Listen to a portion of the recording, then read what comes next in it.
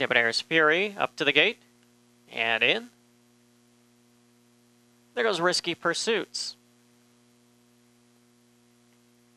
Now Cartel Mountain.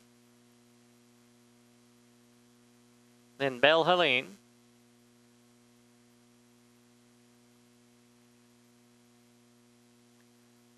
Miss Bodine into the gate. Rylees Bud next. And last in, Just B.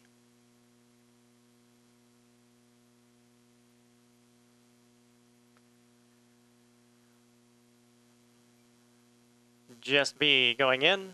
And they're all set for trial number six for the Rainbow Futurity.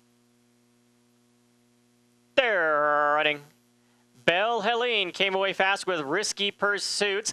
The, the, outside just B floated right to the outside fence, maybe even scraped it, but it is Belle Helene in front. Belle Helene now chased by Rylees Bud and back to the inside Cartel Mountain, followed up at the rail by Ella's Cartel and Debonair's Fury, but Belle Helene wins easy.